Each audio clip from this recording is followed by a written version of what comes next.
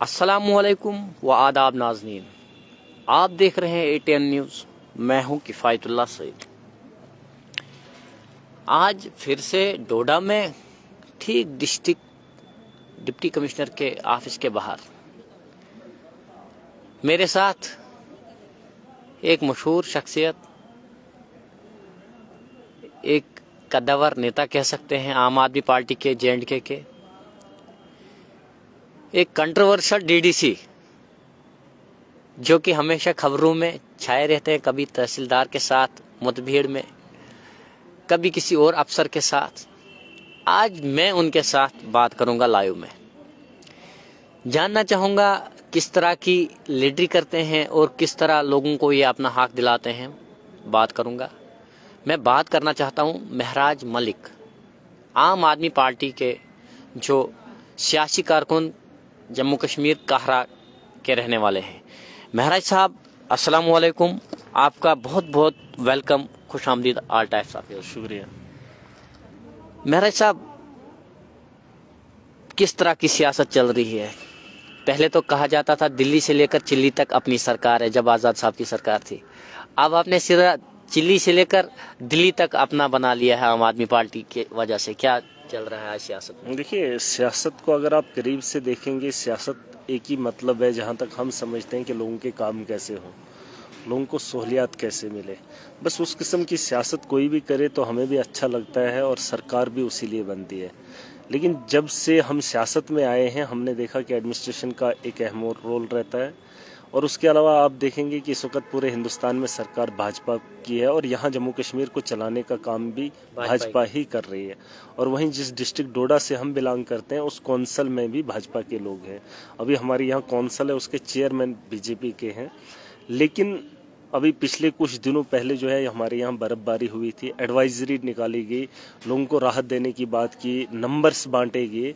अभी मैं यहाँ टीसी ऑफ़िस में सुबह आया हूँ एसीडी ऑफ़िस में गया। बड़े बड़े ऑफिसर हमें दफ्तरों के अंदर मिल ही नहीं रहे हैं। वही बात है अभी दिन के मतलब सुबह के साढ़े ग्यारह हो गए हैं। ना ही डीसी साहब बैठे हैं यहाँ पे मैं अभी आधा एक घंटा बैठ भी गया था मैंने फ़ोन भी किया था लेकिन फ़ोन भी नहीं मिला। कहने का मतलब ये है कि अभी जब किसी एक से बात हुई तो उन्होंने कहा कि रात के आठ बजे तक काम होता है ऑफिशियल सुनिए ऑफिशियल वर्क तो होता है दस टू चार तो आठ बजे तक क्या करते हैं? वही मैं कह रहा हूँ उनका कहना था कि आठ बजे तक हम शाम को काम करते हैं। फाइलों को ऊपर का नीचे नीचे का ऊपर करना, ये हमारा काम नहीं होना चाहिए।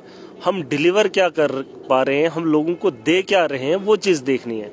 पाँच, सात दिन पहले बर्फ़ गिरी थी, आज चौथा, पांचवा दिन जो है मौसम साफ़ हुआ है। लेकिन अभी तक कुछ ऐसे रोड्स अभी तक हैं जहाँ अभी बर्फ़ वहीं की वहीं है। और जहाँ तक लोगों का मसला है क्योंकि एडमिनिस्ट्रेशन का काम भी है लोगों को राहत देना सरकार का काम भी है लोगों को राहत देना। हम जम्मू में खुद थे लेकिन सवाल बहुत खड़े हुए। लेकिन अफसोस इस बात का है कि एडमिनिस्ट्रेशन के लोग अगर पानी देने का काम कर रहे हैं उनके मुलाजमिन हैं उनके पास पाइप नहीं है। आप देखिए स्टोरों के अंदर इनके पास एडमिनिस्ट्रेशन के पास कोई भी मतलब अगर कहीं पानी टूट जाता है पाइप लगा वहाँ उस टूटे को जोड़ने के लिए डिपार्टमेंट के पास पाइप नहीं है। अगर कहीं तार उखड़ जाती है पोल गिर जाते हैं या खत्म हो जाते हैं डिपार्टमेंट के पास ना ही पोल है और ना ही तार है तो सिस्टम कैसे सुधरेगा? कहने का मतलब ये है कि जिस चीज़ के लिए एडमिनिस्ट्रेशन बैठी है उसमें वो नाकाम है। मैं ये कह रहा हूँ पाँच दिनों से बर्फ़ नहीं हटाई जा रही है और अभी मैं लिस्ट देख कर आया है उसमें बताया जा रहा है कि ऑनगोइंग हो रहा है। ऑनगोइंग कुछ भी नहीं है। मतलब जब देखिए ये फ्रॉड हो रहा है गवर्नमेंट खजाने को लूटा जा रहा है। जिस आदमी ने टेंडर दिया है स्नो क्लियरेंस का टेंडर लगा था उसी के लिए एडवाइजरी भी लाई गई थी। लेकिन उसके बावजूद पाँच दिन हो जाते हैं बहुत सारे ऐसे इलाके गाँव में लोगों को लग रहा है आपको कि वो टेंडरिंग जो है पैसा निकाला जाएगा बर्फ़ खुद पिघल जाएगी और उसके बाद वही मैं कह रहा हूँ वही मैं कह रहा हूँ उसी से तो मुझे अफसोस है और आपने कहा भी कि हम एडमिनिस्ट्रेशन के साथ इसीलिए उलझे हुए रहते हैं क्योंकि एडमिनिस्ट्रेशन अपना काम नहीं कर रही है। मैंने अभी भी बात की कि अगर हमारा हमारी बात पे एसडीएम जो है आ, मतलब वक्ती तौर जो है उसका हल निकालता है तो हमें यहाँ इन लोगों से बात नहीं, नहीं वही ज़रूरत नहीं है। तहसीलदार अपना काम करे, उसको उतनी पावर्स होनी चाहिए एसडीएम को उतनी पावर होनी चाहिए डीडीसी को उतनी पावर होनी चाहिए, जो पब्लिक रिप्रेजेंटेटिव उनकी बात की सुनवाई होती नहीं है। और हमेशा जो है, हमें डीसी को अप्रोच करना पड़ता है।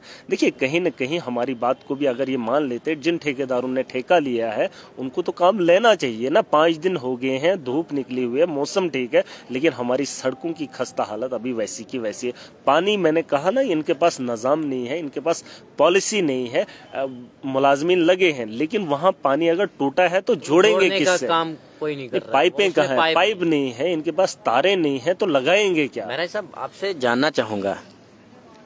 आपने बहुत सारे ऑफिसर को उनका ऑफ़िस लाक कर दिया है जिस तरह तहसीलदार कहरा का ऑफ़िस लाक किया था आपने और भी बहुत सारे अस्पताल लाक किया आपने देखा गया है वीडियोज़ में बार बार देखा गया आज आप डीसी ऑफ़िस डोडा आए क्या आपको नहीं लगता है कि यहाँ पर भी इसी तरह का माहौल है यहाँ पर भी कुछ वही तो मैं कह रहा हूँ मैं सुबह गया हूँ दस साढ़े दस बजे में एसीडी ऑफ़िस में था एसीडी ऑफ़िस में था वहाँ पर एसीडी ऑफ़िस में कोई नहीं था अभी मैं डीसी ऑफ़िस में आया अभी मैं डीसी ऑफ़िस में आया तो यहाँ पर भी कोई नहीं है। डीसी साहब तो है ही नहीं यहाँ पे। अभी कह रहे हैं ब्लॉक दिवस। ब्लॉक दिवस किसके लिए? लोगों के लिए है ना? लोग इस वक्त परेशानी के शिकार में है।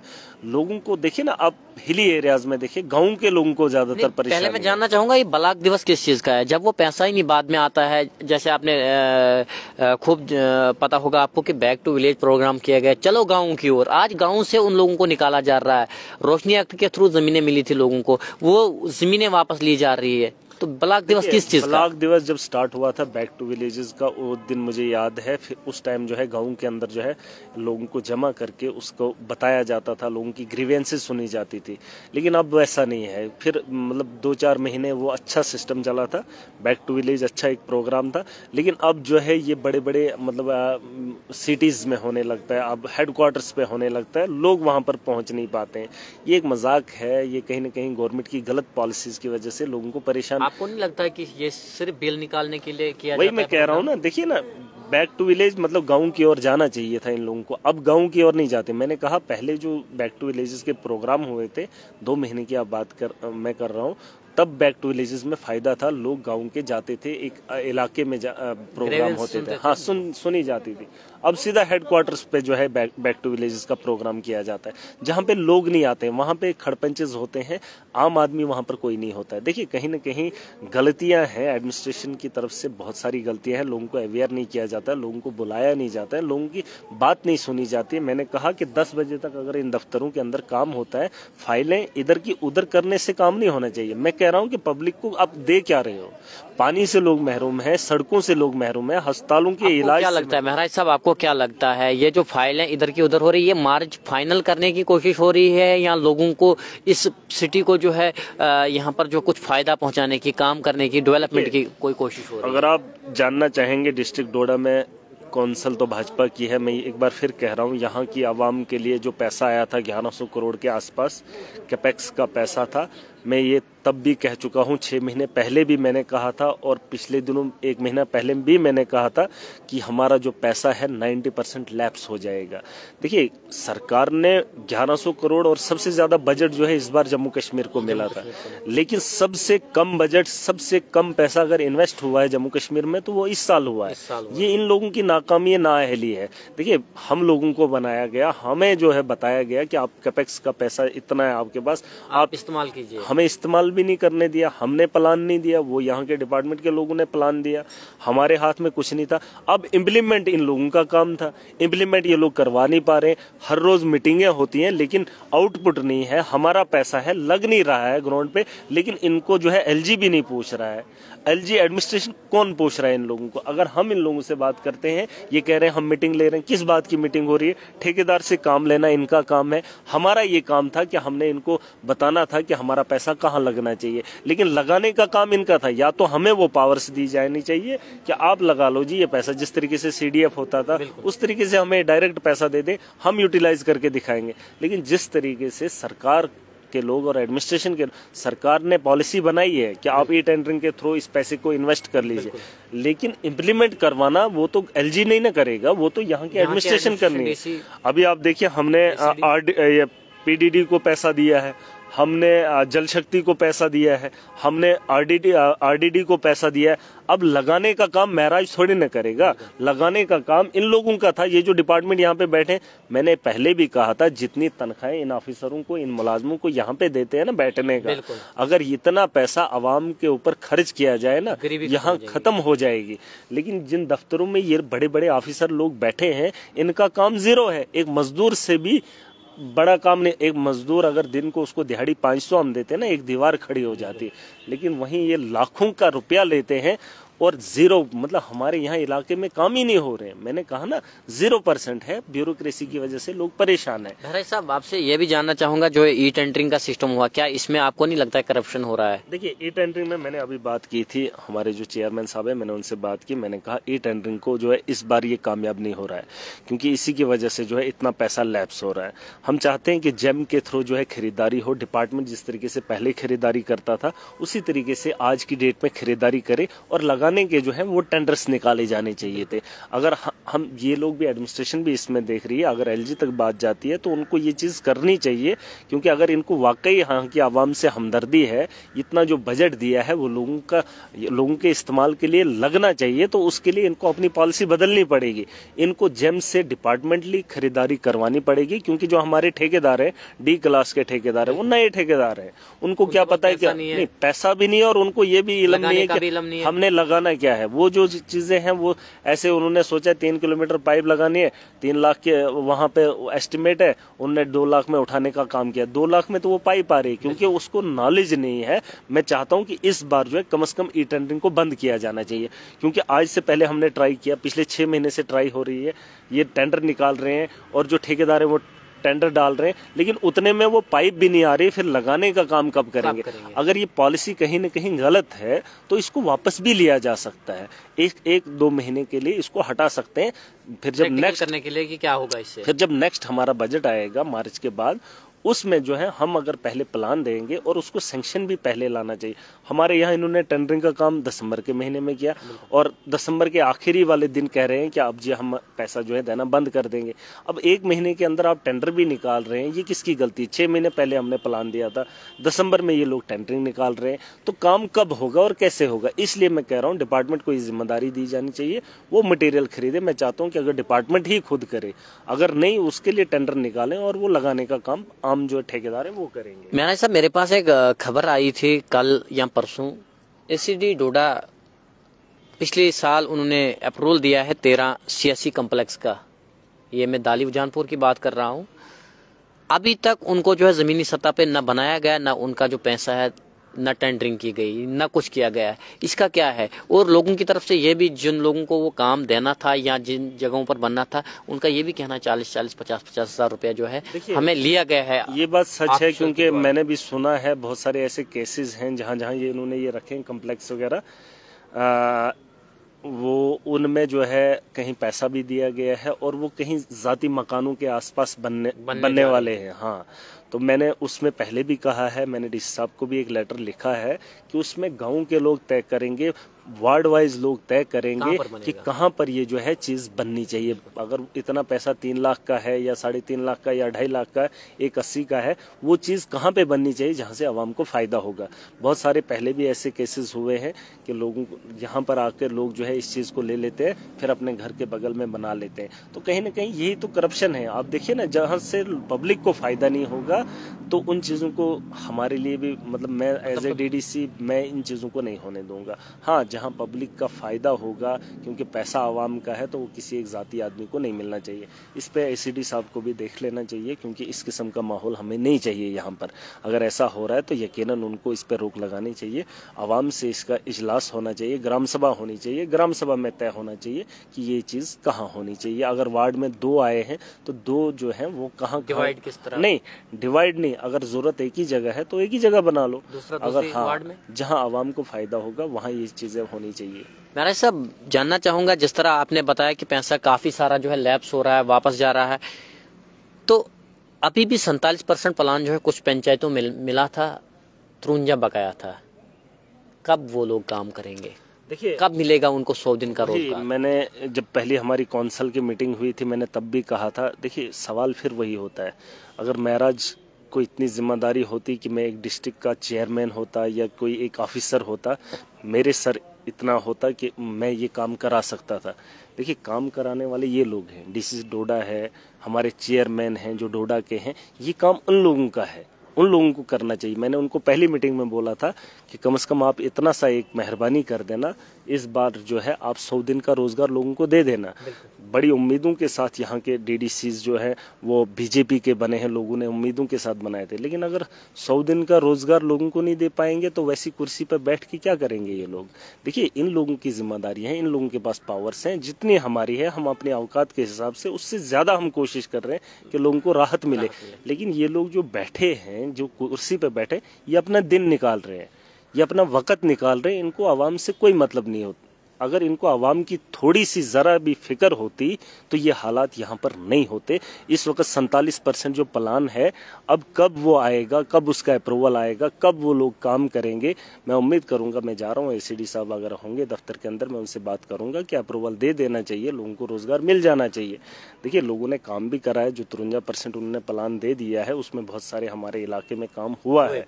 मैं चाहता हूँ कि ये जो है अपने डिपार्टमेंट के लोगों को थोड़ा आ, मतलब कसें या उनसे काम लें। देखिए डिपार्टमेंट अगर अपने ऑफिशियल से काम लेना चाहे तो ऑफिशियल जो है पब्लिक से पब्लिक से काम ले लेगी। लेकिन यही लोग नहीं चाहते हैं कि हमारे यहाँ काम हो। सैतालीस परसेंट बहुत सारे लोगों बहुत सारी पंचायतों में जो है तुरंजा परसेंट काम हुआ है। कुछ जो है ऑनगोइंग वर्क भी है पूरा का पूरा काम चल रहा है।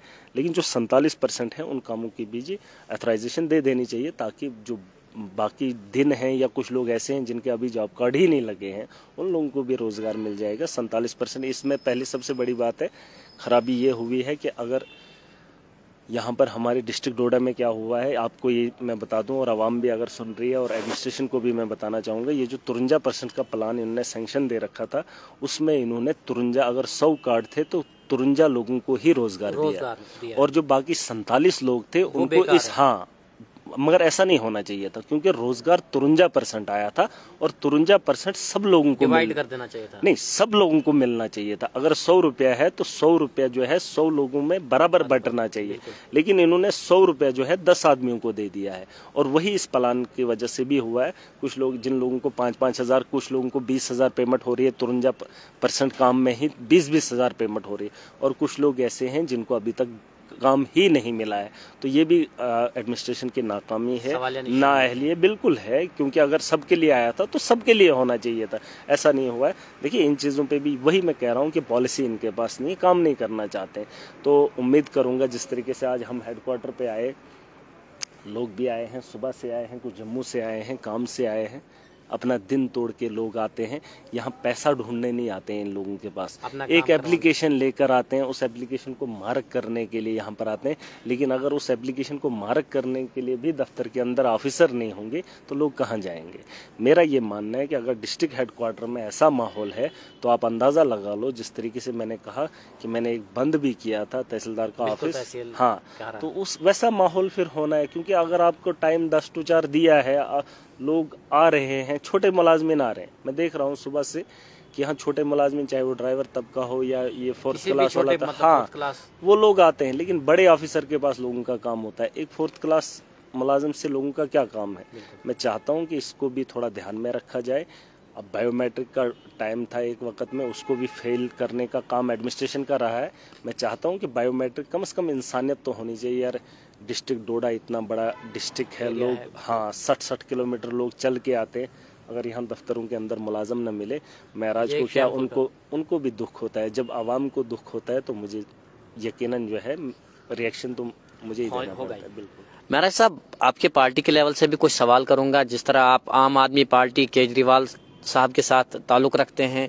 जम्मू कश्मीर में आम आदमी पार्टी एक नया बूटा है जिस तरह एक नया पेड़ होता है छोटा सा। उसी तरह आम आदमी पार्टी के एक नए बूटे जम्मू कश्मीर में हो दो चार साल से आप वर्क कर रहे हो। चिल्ली से लेकर दिल्ली में केजरीवाल ने बिजली फ्री दी। क्या दिल्ली से आकर चिल्ली में भी फ्री वो बिजली करेंगे? कभी आपको सब करना लगता है? देखिए इसीलिए मैं कह रहा हूँ मैं अपने चार साल बोला गलत बोला आपने मैं आठ साल से पार्टी के साथ जुड़ा हूँ। जब से दिल्ली में मैं बेसिक बोल रहा हूँ कि जब से लोग देख रहे हैं लोग देख रहे हैं। लोग कब से देख रहे हैं वो मैटर नहीं करता। मैं कब से जुड़ा हूँ वो ज़रूरी है। मैं 2014 में जुड़ा था जब दिल्ली में सरकार छोड़ी गई थी उनचास दिन की तब मैं दिल्ली में गया था और उसके बाद मैंने भी इलेक्शन लड़ा था। मैं भी चाहता था कि जम्मू कश्मीर भी बदले।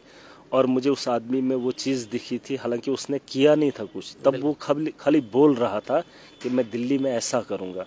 तो मुझे उस पर यकीन आ गया जैसे दिल्ली के लोगों ने यकीन उस पर किया हमने भी वैसे ही यकीन किया। और हमें लगा कि आने वाले वक्त में ये चीज़ें करके कर दिखाए।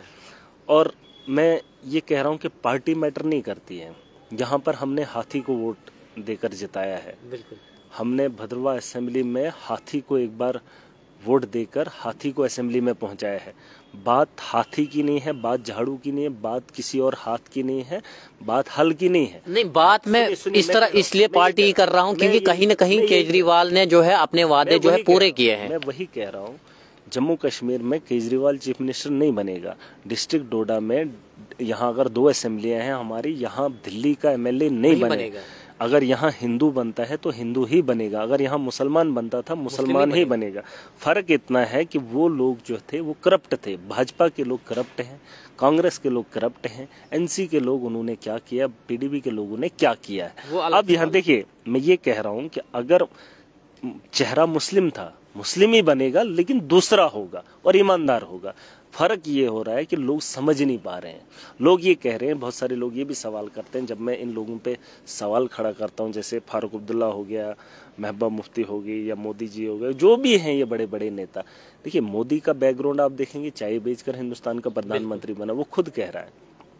एक क्रिकेटर की बात आप करेंगे वो पहले कुछ भी नहीं था उसका फैमिली बैकग्राउंड देखें आप कुछ कुछ नहीं था आज देखिए मेरी ज़िंदगी है मैं आज तीस बत्तीस साल का जवान हूँ। मुझे आज के दौर में अपना वक्त खुद बनाना है। मुस्तकबिल मुझे खुद बनाना है। अब फारूक अब्दुल्ला क्या था? उसके वालिद का क्या था? बोल रहा था। उससे पहले वो भी कुछ नहीं थे। ये लोग कह रहे हैं कि महराज नहीं कर सकता यार महराज कर सकता है मैंने करके दिखाया है। मैंने इलेक्शन भी लड़ा है और जीत कर भी आया हूँ। और जो पॉलिसी मेरे पास है जिस दिन मौका मिलेगा हम इम्प्लीमेंट करके दिखाएँगे। और सबसे बड़ी बात है मैंने करप्शन पे रोक लगाई है जो कि डिस्ट्रिक्ट डोडा में नहीं जम्मू कश्मीर में कहीं नहीं है।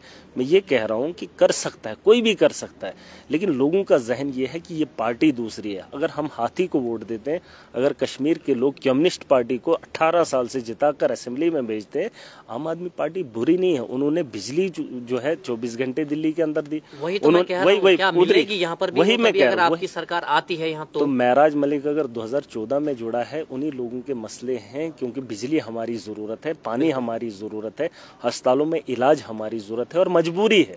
हमारे पास वो बेसिक फैसिलिटीज़ नहीं है। जब तक ना बेसिक फैसिलिटीज़ की बात करेंगे आप हिंदू और मुस्लिम की सियासत नहीं कर सकते।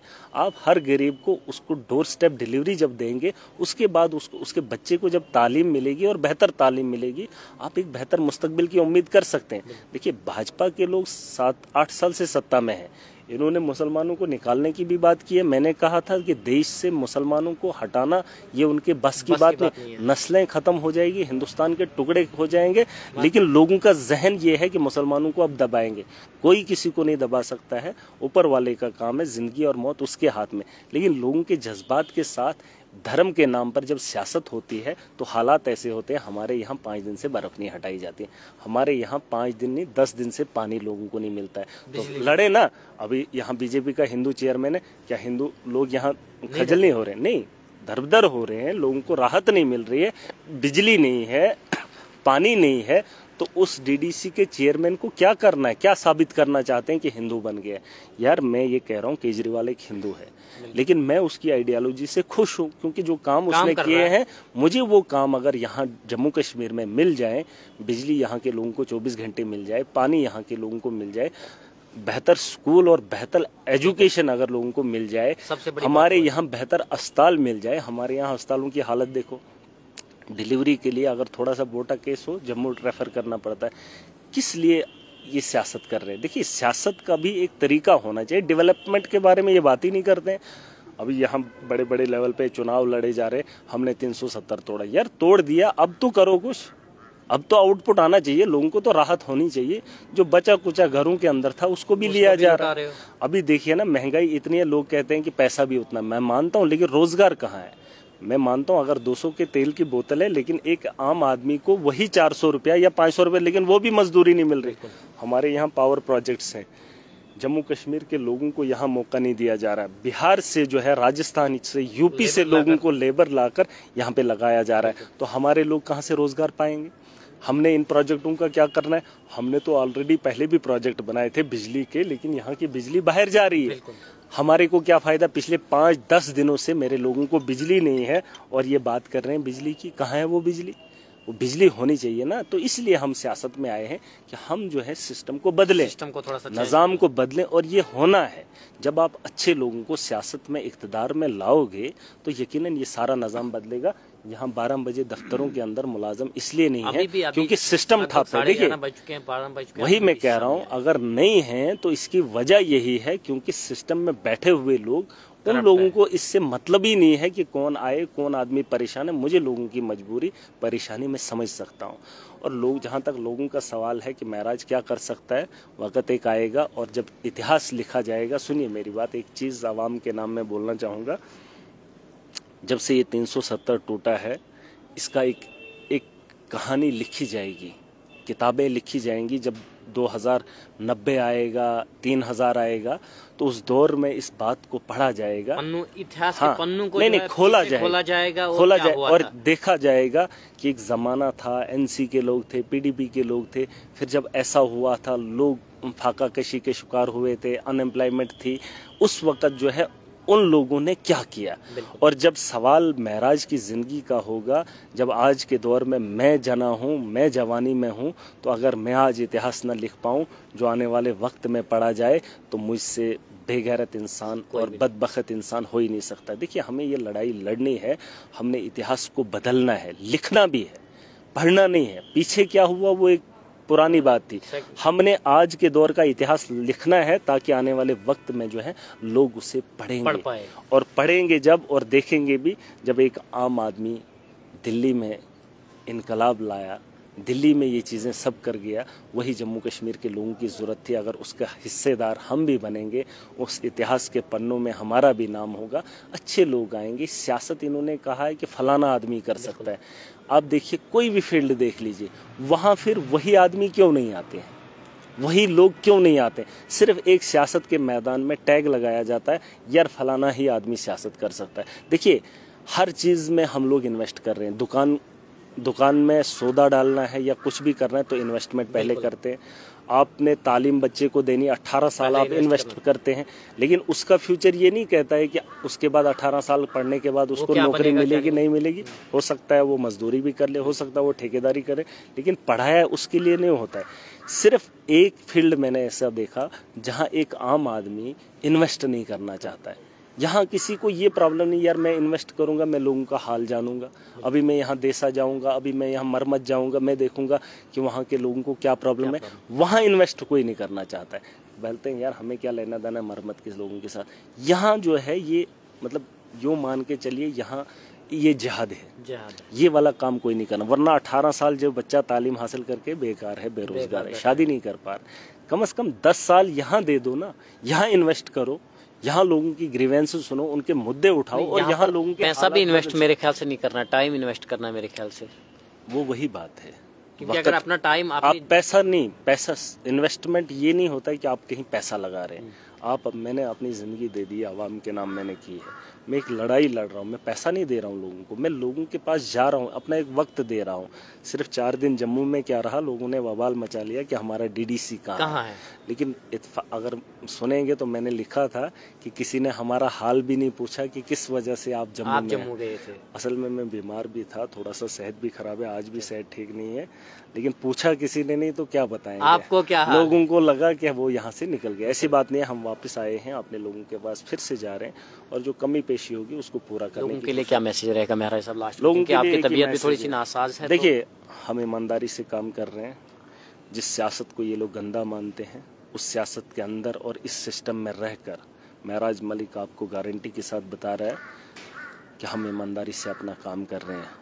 और बेलोस होकर आवाम की खिदमत करना चाहते हैं, जज्बे के साथ आए थे सियासत में, उसी जज्बे के साथ लोगों के काम करना चाहते हैं। इसमें किसी को एतराज़ नहीं होना चाहिए और हर आदमी की ज़िम्मेदारी, अगर मुझसे नहीं हो पा रहा है, किसी को लग रहा है कि महराज को ऐसा नहीं वैसा करना चाहिए, उस आदमी को भी खुल कर आ जाना चाहिए।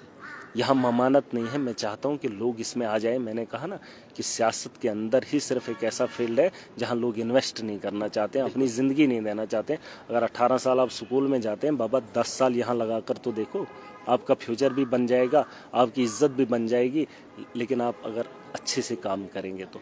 मैं ये कह रहा हूँ कि लोगों को इसके बारे में नहीं सोचना चाहिए। मेरा आज ईमानदारी से काम कर भी रहा है पहले भी था और आज भी ईमानदार हूँ। ये मैं फ़ख्र से कह रहा हूँ। किसी को सर्टिफिकेट देने की ज़रूरत नहीं। हाँ अगर किसी को लगा हो तो मुझसे सवाल करे कि फ़लानी जगह आपने ऐसा किया। ईमानदारी सियासत के अंदर, जो सियासत को ये काला जादू कहते थे, उस सियासत को हमने बदलना है और ये हमारा काम है। और मैं चाहता हूँ कि जो अच्छे लोग हैं, जिनको जान की परवाह नहीं है, जिनको अपनी ज़िंदगी की परवाह नहीं है, अपने लोगों का थोड़ा ज़र्रा बराबर भी उनकी हमदर्दी है तो उन लोगों को खुल कर आ जाना चाहिए। हमने इन लोगों को नहीं देखना जो पुराने नेता हैं। इन लोगों को हटाने के लिए हमें सियासत के मैदान में खुद आना पड़ेगा। ये एक एजुकेशन का सिस्टम है यहाँ भी तालीम ये भी एक तालीम है। मैं चाहता हूँ कि लोगों को जो है अगर जिस जिस इलाके में आपके काम नहीं हो रहे हैं एक आखिरी कि लोगों को चाहिए कि जहाँ आपके यहाँ काम नहीं हो रहा है कोई भी मसला है आपके पास मोबाइल है। गाने लोग सुनते हैं पता नहीं क्या क्या इन चीज़ों में मोबाइल में देखते हैं। सोशल मीडिया का दौर है आप एक काम कर लीजिए आप अपने इलाके की वीडियो डाल दीजिए आपके यहाँ कोई मसला है कोई ऑफिसर नहीं बैठता है कोई डिपार्टमेंट के लोग काम नहीं करते हैं उठा लीजिए फ़ोन बना लीजिए वीडियो कोई फ़र्क नहीं पड़ता यार किस बात का डर है? आप डरोगे तो फिर क्या पाओगे? मौत और ज़िंदगी ऊपर वाले के हाथ में बाकी इन लोगों के पास कुछ भी नहीं है। तो ये कोशिश करनी चाहिए लोगों को अपनी ग्रीवेंसेस खुद उठानी पड़ेगी क्योंकि ये लोग जो है हमारा काम करने वाले नहीं हैं। तो मैं उम्मीद करूँगा कि लोग इस पर जो है सोच विचार करेंगे और आने वाले वक्त में कोशिश करेंगे। हर सुधारने की अपने आप को भी और अपने बिल्कुल कोशिश करनी चाहिए। जो लोग ज़्यादा ये सोचते हैं कि सियासत उससे नहीं आती कोसना नहीं है। सियासत के मैदान में खुद आना पड़ेगा और इस सियासत को बदलना बहुत ज़रूरी है। बहुत बहुत शुक्रिया मेरे साथ डीडीसी चेयरपर्सन महराज मलिक जी जो कि कहरा से ताल्लुक रखते हैं आम आदमी पार्टी से ताल्लुक रखते हैं। बहुत सारे इश्यूज़ के ऊपर हमने बात की। तो हमें भी उम्मीद है आप लोगों को भी जो है पसंद आई होगी। आप लोग भी जो है ज़्यादा से ज़्यादा शेयर करेंगे। फिर मिलूँगा आपके साथ। तब तक के लिए खुदा हाफिज। वीडियो को ज़्यादा से ज़्यादा शेयर कीजिए। खुदा हाफिज।